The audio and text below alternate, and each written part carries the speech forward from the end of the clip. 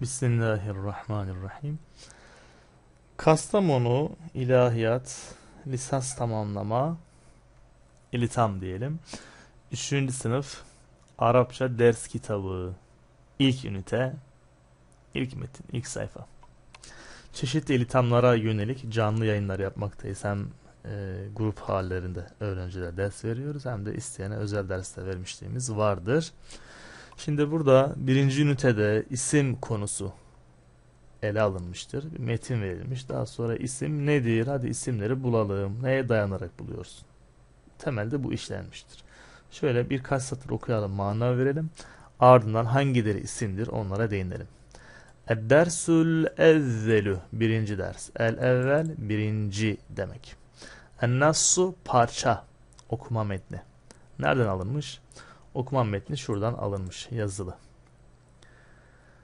Bazı meşakilil lugatil arabiyyeti Arap dilinin sorunlarından bazıları bazı sorunlardan bahsedecek. Arap dilinin bazı sorunları. Likulli lugatin her bir dil için vardır. Ne vardır? Müşkilatuha onun problemleri, sorunları vardır. El hassatu kendisine özgü, kendisine ait. Her dilin kendisine özgü bir takım sorunları vardır. Ve senekra'u ve biz okuyacağız. Fi hâde dersi bu derste bahsedeceğiz. An müşkileteyni iki tane problemden bahsedeceğiz. Min ehemmi müşkilatil lugatil arabiyyet. Ehem en mühim, en önemli. Min dendan. Müşkilat problemler. Lugatil arabi Arap dili demek zaten. Arap dilinin sorunlarından en önemli olanlarından ikisine değineceğiz. İkisinden bahsedeceğiz. Tuvacihu karşılaşır, karşılaşıyor. El-lugatul arabiyyetu Arap dili adeden bir takım minel meşakidil esasiyeti temel problemlerden. Esasi temel demek. Meşakil problemler, sorunlar. Adeden birkaç, bir takım. O zaman Arap dili bir takım temel problemlerle karşılaşmaktadır. Nedkuru biz de bahsedeceğiz. Minha işte onlardan. Evvelen öncelikle sorunlar şimdi ele alıyor. Birincisi de diyebiliriz. Vücudu lugateyni iki tane dilin varlığı. Muhtelifeteyni farklı farklı iki dilin varlığı. Bir sorundur. Farklı farklı iki lugatın varlığı demek ne demek yani? Bundan maksat nedir? Birincisi amiyetun ve ikincisi fusha. Ammi ile fusha birbirinin zıttıdır. Ammice demek halk dili demek. Gramerden kopmuş halkın kendi arasında biraz daha yuvarlayarak konuşması demek. Fusha ise öyle değil. Fusha gramere, kaideye bağlı düzgün konuşma manasına geliyor. Aşağıda daha açık anlatıyor nedirler diye de ben kısaca bu kadarını söylemiş olayım. Şimdi buraları isim yönden inceleyelim. İlk ünite isim konusunu ele almaktadır. Bundan ötürü özellikle hangi lafızların isim olduğunu bilmemiz gerekir. İsim, isim, nerede anladın? Evvelinde eliflamlar var. Evvelinde eliflam olan her kelime isim midir? Değildir. O eliflamın zait olması yani eklense de olur, e, eklenmese de olur. Çıkarsak da mana bozulmaz, eklesek de mana bozulmaz. Diyeceğimiz şekildeki eliflamlar lafzın isim olduğuna alamettir. Alamet kanıt, ipucu yani. Örnek diyebilirsin ki kitabun. Kitabun. Evven eliflam eklenebilir mi? Eklersin. El kitabu. Artık eliflam dahil olduğu için sonu temin olmaz yani. Ekleyebiliyor muyum? Ekleyebiliyorum. Eklenebilirliği şunu gösterir. Bu bir isimdir. Artık eklesen de isim, eklemesen de isim. Var eliflam isimdir. Sil eliflamı yine isimdir. Tenvin alabilmesi onun isim olduğunu kanıtıdır. Bir diğer kanıtı o. Başka zaman manası içermiyor. Üç zamandan birisini yani geçmiş zaman, şimdiki zaman, gelecek zaman gibi. Zaman içermez ders lafzı. Dolayısıyla nedir? İsimdir. Her ikisi de isim. Ennas isim. Nerede anladın? Eliflamlıdır. Başka kendisinde zaman manası yok. Yani bir zamanlar şöyleydi veya şöyle oluyor veya olacak gibi ecek acak almıyor. dı, di, tu gibi bir ek almıyor. Er, ar, yor ekleri almıyor. Öylesi isimdir. Bazı meşakil lügatil arabiye bazı lafzı muzaftır. Muzaf fiillerden olmaz ya. Demek ki isimdir. Meşakil lafzı mecrur. Mecrur olmak ismin özelliğidir. İsim olduğunu anlayabilirsin. El-lugat kelimesi eliflam almış olmasından isim olduğunu anlayabilirsin. Esse ile bitmiş olmasından yani mecrurluğundan isim olduğunu anlayabilirsin. Müenneslik tası almış isim olduğunu oradan da anlayabilirsin. Yuvarlak ta, ta merbuta isimlere bitişir, fiillere bitişmez. El-arabiye eliflamlı olduğuna göre zaten isimdir. E, mecrur isim olduğuna bir diğer kanıt. Ta merbuta almış bir diğer kanıt. E, kendisinde zaman manası yok bir diğer kanıt gibi bir sürü kanıtlar sayabilirsin. Bazen bir lafızda ismin alametlerinden, ismin e, özelliklerinden belki bir tanesini görebilirsin. O da yeterli. Bir tane olsa da isim olduğuna kanıt bulsan bir tane yine isim de zaten. Bazen de birden çok kanıt bulunabiliyor. Meşakil lafzı müşkil lafzının nesidir? Çoğuludur. Müşkilun. Müşkil. Eşkele, işkül, işkal, müşkil. Bazen sorulur. Müfreç e, cemi eşleştirmesi istenir. Mesela denir ki müşkil lafzının çoğulu hangi şıkta doğru olarak verilmiştir? İşte A şıkkı müşkilatun, B şıkkı meşakilü, C şıkkı gibi bir şeyler yazabilir. E, çoğulu buradaymış yani. Bunlar müfret, çoğul olarak karşımıza çıkıyor. E, burayı böyle bitirdik diyelim. Peşine daha detaylı da incelenebilir yani. Denebilir ki mesela şurada mahzuf bir adet ne var? Hüve var. Kendisi müptedadır. Yazıda yok. Mahzuf istedilmiş. Yazıda verilmemiş müpteda demek. Bazı lafzı haberdir. Ayrıca muzaftır. Meşakir muzafın ileyhtir. Kendisi müntehel cumu, cemi mükesser. Ke, cemi mükesserleri ikiye ayırabilirsin. Kıllet ve keset olarak. Dersin ki keset vezinlerinden müntehel cumu yani cemul cem dediğimiz kalıptandır. Bu da onun gayrimustarifliğine bir e, nedir? Delildir. Gayrimustarif yapan etkenlerden birisidir. E, gayrimustariftir. Nasıl gayrimustarif esra almış? Gayrimustarif esra almaz. Mecrur olmaz yani. E, olmuş. Niye? Çünkü gayrimustarif olan kelime muzafsa onun gayrimustarifliği artık tartışılır. Yani tartışılır derken gayrimustarifliği hala gayrimustarif midir? Yoksa gayrimustarifliği bozulmuş mudur diye bir tartışma var. Ama tartışma olmayan bir şey var ki bir lafız muzaf olduğunda gayrimustarif olan bir lafız muzaf olduğunda kendisi cer halindeyse esreyi de alır yani. İşte almış zaten onda bir tartışma yok. Böyle daha detaylı da girilebilir. Likulli lugatin her bir dil için vardır. Burası şibih cümle haberdir. Lam harfi cer. Kül onun mecruru. Car mecrur eşittir şibih cümle olarak bilinir. Şibih cümle burada nedir? Haberdir. Mahallen merfudur. Lugat muzafın ileyh olur esasen değil mi? Kül muzaf çünkü. Her bir dil için vardır haber burası. İyi de ne vardır? Var olan şey nedir? Müşkilatu ha onun problemleri vardır. Müşkilat lafzının da müfredi müşkiletun olur. Müşkiletun.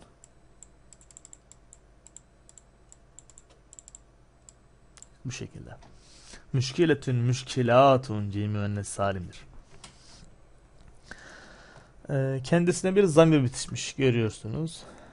Bu zamir niye ha da müşkilati ha da müşkilati hi değil mesela.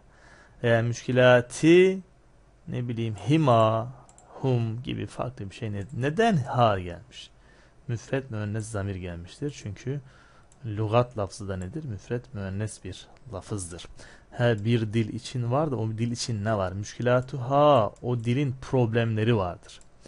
Müşkilat lafzının çoğul olduğunu görmekteyiz. Ama nedir kendisi? Gayri, musa, e, gayri akıl bir çoğuldur. Gayri akıl çoğullar müfret müennes hükmündedir. Bundan ötürü sıfatlarının da müfret müennes gelmesi gerekir. Zaten gelmiş müfret müennes el hassatu. Bu şu an kurmuş olduğum cümle üniversitelerin genelinde sürekli sorulan bir sorudur yani sürekli sorulur. Bu bilgiye dayalı olarak sorular çıkar. Müşkilat gayri akıl bir çoğul olmasından ötürü müfret müennes kabul edilir. Yani ne demek bu? Kendisine bir sıfat getirilecekse müfret müennes getirilir demektir. Burada o demek. Yoksa müpteda haber ilişkisinde de etken bir durum bu. El hassa kelimesi sıfat, müşkilat ise mevsuf. El hassa kelimesi neden eliflamlı? Çünkü müşkilat da marifedir.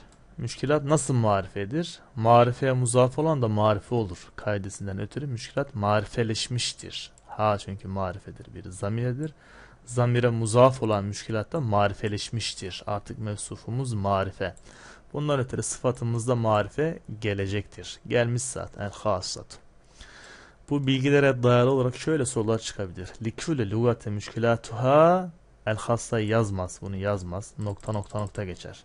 Boşluğa ne gelecek? A şıkkı el hassatu. B şıkkı hassatun. Elif lamsız yazar. C şıkkı hassu. Teis edebilir mesela. Hassun yazabilir.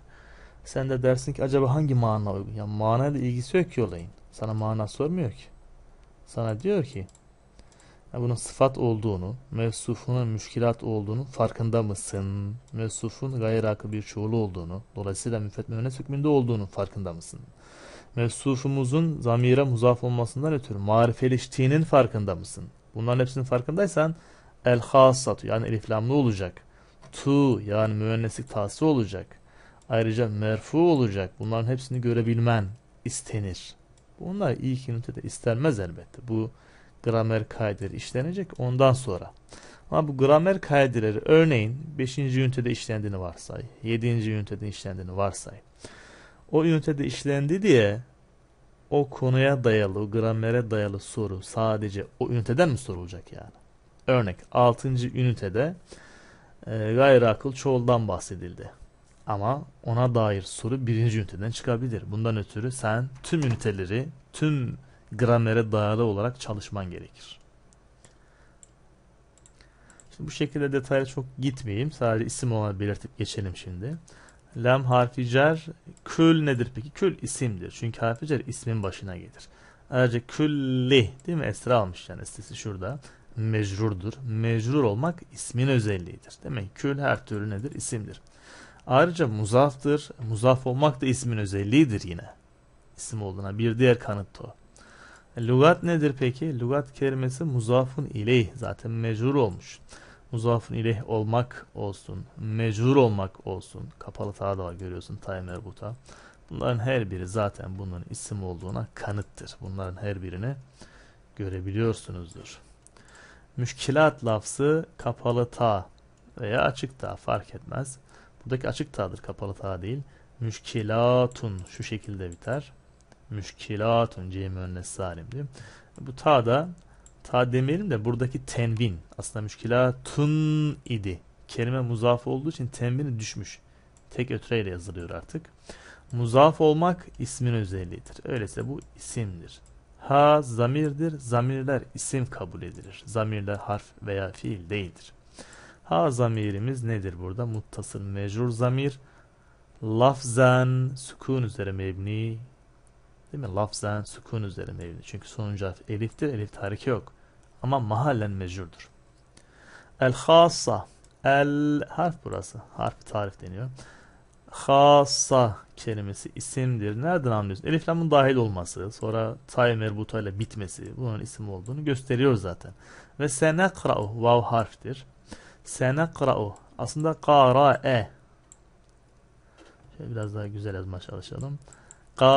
Qara'e Qara'e yakra'u Üçüncü babtan Mehmuzul lam Qara'e yakra'u ekra'u nekra'u Muzari mefura falameti zamme. Fiil burası. Gizli zamir nahnu fail olur. Evvelindeki sin ise harftir. Muzariye sonradan eklenmiş bir harftir. Muzari fiili gelecek zamana has kılan bir harftir. Senekrav biz okuyacağız. Ecek acak okuyacağız. Ecek acak katar oraya. Kâli yegûlu seyegûlu. Seyegûlu süfehâ'u minen nâsi mâ vellâhum an kıbletihimulletî kânû diye devam eden ayette seyegûlu. Sin örneği var. E, kella sefe talemun. Fümme kella sefe talemun. Muzdarın evveline sefe de eklenebilir. Sefe eklendiği zaman biraz daha ileri gelecek. Sin eklendiği zaman yakın gelecek zamanı taşıyor muzari fiilimiz. Fi harfi cer, hada ismi işaret, isim yani. Dersi isimdir. Elif lam olmasından, es ile bitmesinden anlayabilirsin. An harftir, harfice. Müşkeleteyni isim tesniye mecrur. Cer alamet esre mi? Ne ilgisi var? Ya cer alameti. Min harftir. Ehemmi isimdir. Zaten harfi cerrin sonunda isim yer alır. Fiil beklenmez orada. Ehemmi esi almış. Oradan da isim olduğunu anlayabiliriz.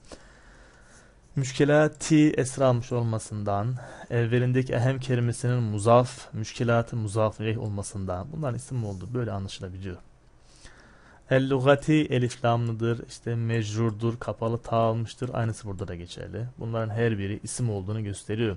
Vacihe yuvacihu tuvacihu. Buradaki hu zamir değil. Tuvacihu öyle değil yani. Fa'ale yufa'ilu. Vacihe yuvacihu tuvacihu. Müfret müennes gaibe diyoruz. Üçüncü şahıstır, tekildir, dişildir. Ee, muzari fiil merfu. Fiil yani. El lugatu onun faili artı isimdir. Elif lamından, ta'sından anlayabilirsin. El arabiyyetu onun sıfatı olur. Adeden temin aldığına göre isim. Min harfi cer. El müşkilat elif lamlı estir demek ki isim. El esas elif lam almış, kapalı ta almış, esir almış isim olduğunu anlayabiliriz. Nezkuru gizli zamir nahnu burada nedir? E, gizli zamir nahnu faildir. Nezkuru zekara yezkuru birinci baptan. Muzari fiil nefsi mütekellim mali gayr diyoruz. Nahnu fail muzari mefu. Min harfi cer. Ha ise onun mecruru. Ha zamirdir. Zamirler isim kabul edilir.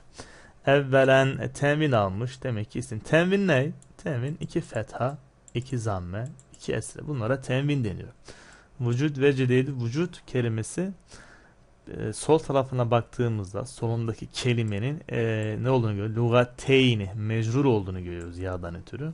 Burası mecrursa yani muzafın ile o zaman sağındaki muzaftır. Muzaf olmak ismin özelliğidir. Öyleyse vücut muz, e, nedir? İsimdir. Lugateyni yine isim çünkü mecrur. Muhtelifeteyni mecrur. O zaman isim. Amiyetun temin almış olması kapalı ta bunlar hep isim olduğunu gösterir. Fusha kelimesi elif-i maksura ile bitmiştir. Elif-i maksura ile bitmiş olması da onun isim olduğunu yine gösteriyor. Burası rama, yermi gibi bir şey söz konusu değil burada. Bu da isimdir. Bu şekilde burayı tamamladık. Tabi daha detaylı da inceleyebilirdik. İlk ünite olması hasebiyle başta biraz detaylı gittik ama daha sonra gramere uygun yani isim nedir konusuna e, temas ederek bir bölümü incelemiş olduk. Daha fazlası için zaten bize ulaşabilirsiniz diyerek burada sonlandırıyoruz.